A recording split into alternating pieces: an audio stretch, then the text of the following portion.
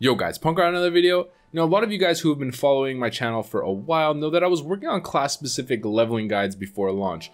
Unfortunately, I didn't really have enough time to complete every single class before August 26th. There just wasn't really enough time. But even with that being the case, I still want to complete the leveling guide catalog nonetheless. So we've done about half of the classes so far, so for this one, we're going to be covering the Mage, the god tier leveling class of the game, of course. And this was proven to us by the classic legend himself, Joker DTV, the mythical bald gnome mage. So with this video, I'm actually going to be using footage from Joker D's stream from 1 to 60, and also from this YouTuber named Stretta, who has a nice compilation of his grind from 1 to 60 on private servers. I want to thank those two guys for letting me use their footage, and of course go check out their channels, they got great content on Twitch and YouTube respectively. Also keep in mind that this leveling guide specifically is going to be focusing on AoE leveling, which is the most effective method of course. Let's focus on one aspect here rather than making the video too long or inconsistent. Alright, so here's my mage leveling guide friends, let's get into it. So here's the spec that I personally like to run. Keep in mind that this is my own personal spec. Once again, it might not be the same as what Joker D runs, and it might change depending on your preference. Regardless though, let's go over the important talents when it comes to AoE grinding, and later explain how to get the most out of them. So in the Frost tree, we've got Elemental Precision, which is an improved chance to hit with your Frost spells. This is obviously super important when it comes to AoE grinding due to the fact that one resist on a Frost Nova or Cone of Cold or pretty much whatever it is can cause some issues sometimes when grouping up different enemies. We've got improved Frost Nova, which of course is super important. Nova is arguably the most important ability when it comes to grouping up mobs in general. We've got Permafrost for an increased effectiveness of your slows, improved Blizzard, which is of course the core, which allows you to AoE grind by adding a slow onto your Blizzard ticks. We've got Cold Snap for resetting Frost Nova's Ice Block, Ice Barrier, Cone of Cold. There's Ice Block and Ice Barrier for increased survivability of course. And there's a couple other techniques tied in with Ice Block as well that we'll go over in a bit. And this one I find super useful, but some mages, surprisingly I've seen skip it, is Improved Cone of Cold, which increases the damage of your Cone of Cold, and this tied in with Shatter for an almost guaranteed crit when the targets are Novad, and the increased crit damage multiplier from Ice Shards is a really nice combo. It makes your Cone of Cold super effective in terms of damage. And in the Arcane tree, I go for clear casting for mana-free blizzards and the talent that improves your armor based on your intellect, which honestly is something that I've gone for in the past, but it might not be worth it. Maybe there's a better way to spend this talent point, although I think it's decent value considering it's only one talent point. So there's the core for AoE grinding. Now keep in mind that I've also skipped Frostbite. You don't actually want this talent. It can screw up your mass mob control by splitting them up if one gets Nova at the back and the rest are just running through. It's still doable to AoE grind with it, but it hurts more than it helps I find, so I'd skip this for clean pulls. So let's go over exactly how you want to use these abilities to the fullest extent. The first step is of course gathering mobs. There's two main techniques that you want to use when grouping up mobs. You got body pulls and ping pulls. Body pulls are exactly what you'd expect, running by a mob to aggro them through their aggro radius, mounted or just by running. A little trick that you can use to help with body pulling is actually blink. So you can pull one pack with your body and then blink to an opposing pack and group them up all together by moving to a neutral middle spot between both packs and ping pulling is using your ranged attacks to gather extra further away mobs as you're body pulling the base pack. So using your wand works for this, counterspelling is a common technique, like just counterspelling a mob at the corner to bring it to you using rank 1 Fireball, and make sure to use Fireball specifically. Frostbolt will slow the enemy, which will slow its ability to reach the mob cluster effectively. Also, a little addition, you might actually want to keep Swiftness potions in your bags when body pulling. Popping a Sprint Pot can greatly help gathering mobs in certain areas where the mobs are more spread out or I guess not as dense. The next portion is spatial awareness, finding a nice middle ground where you can line them all up and using your pathing to get them all chasing from the same funnel point. And another technique that's used if you're pulling a pack that's quite big is actually just ice blocking. This is mainly utilized when you have a ton of mobs that you're pulling at once or you're waiting for stragglers that you've ping pulled from afar. You'll just sit in the ice block and wait until everything is coalesced together.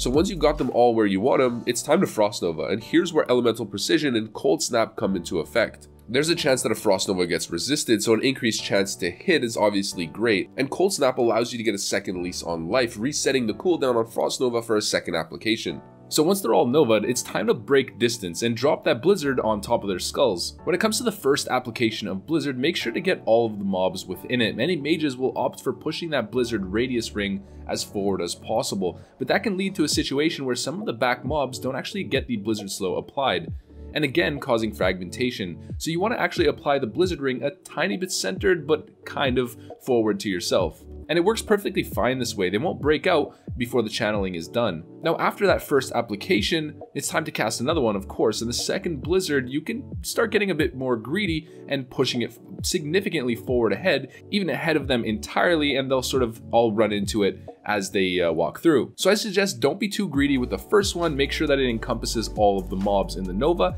and then with the second one you can start pushing it forward. And here's a little trick that you can use to maximize the distance before applying that second blizzard. So all of those mobs are still going to be slow after the blizzard ends, and you can utilize the remainder of that blizzard slow to sort of push the distance a little bit more, jumping and getting a little bit of an extra buffer between you and them and then sending off that second blizzard. Also keep in mind that permafrost increases the slow duration on your blizzard to above 1.5 seconds depending on how many talents you have into it. Another little trick that you can use in relation to blizzard slow is actually using rank 1 blizzard on massive pulls with multi-leveled environments so you can gather all of the mobs on the top level jump off, and then as they start to funnel down one of the ramps, they're most likely going to be significantly separate as they're running down. So you'll want to actually rank one Blizzard to apply the slow to the mobs ahead, and that'll allow the back stragglers to catch up and eventually you'll cluster them all together.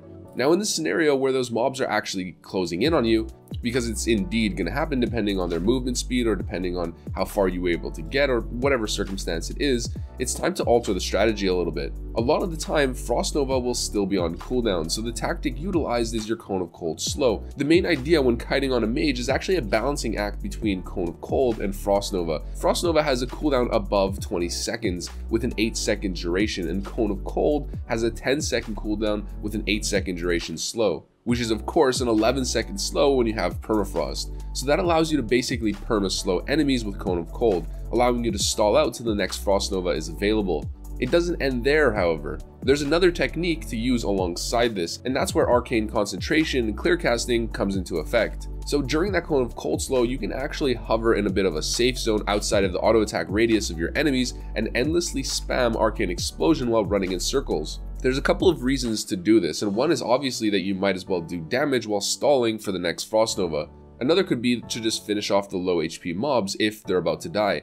But the third is actually the most intriguing one. So your Arcane Explosion can actually proc a Clear Casting proc. Clear Casting of course makes your next spell cost 0 mana. This means you can in a sense fish for Clear Casting procs. Then expend the no mana cost spell cast on a big mana dumping ability like Blizzard, let's say, if you can break distance enough, or Cone of Cold, if that's what you want to do. You'll see mages sometimes spam rank 1 Arcane Explosion in this scenario to do exactly that, fish for a clear casting state. So always keep rank 1 Arcane Explosion, especially if you're low on mana. It's a very important trick to be aware of, and sometimes people actually go for clear casting early before actually moving towards improved Blizzard with their talent selection. So they'll only put one point into clear casting in the Arcane tree and then further push into Frost after that and maybe start AoE leveling in the higher level 20s, since they're only actually going to put one point into Arcane Concentration, so that's only a total of six points into Arcane at all. So keep that in mind if you want to run that way, although I tend to just rush for improved Blizzard personally. When it comes to survivability spells, of course keep Ice Barrier up as much as you can to absorb the odd hit.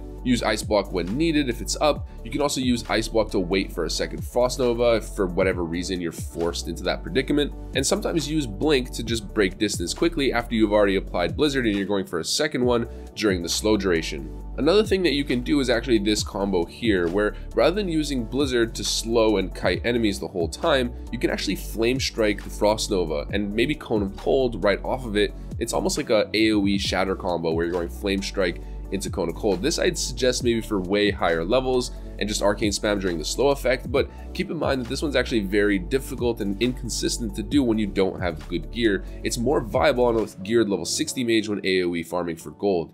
I'd stick to just the basic Blizzard strategy, but sometimes you can do this, especially if you're much higher level than the mobs that you're farming.